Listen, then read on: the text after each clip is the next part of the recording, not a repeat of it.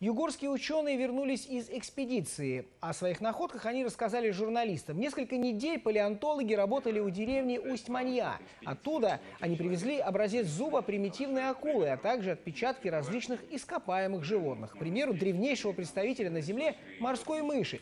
Эта находка имеет мировое значение. Кроме того, ученые нашли отпечатки растений, которые миллионы лет назад вместе с хвощами и папоротниками образовывали первые леса на планете.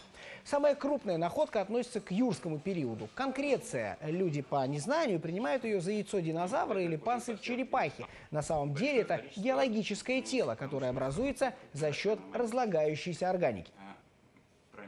Свои... Инициатором его образования служат чаще всего какие-то органические остатки, и внутри этих конкреций зачастую можно найти там раковины аммонитов, раковины двустворок и других морских животных.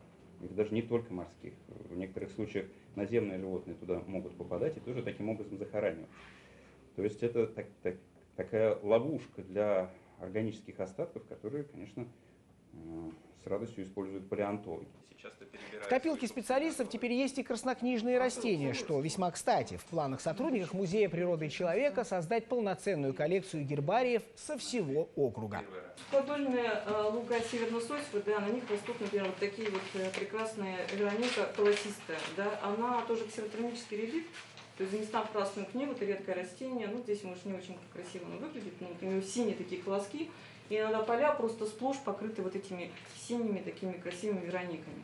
То есть они тоже остались здесь э, с тех времен, когда здесь были такие совершенно другие какие-то ландшафты.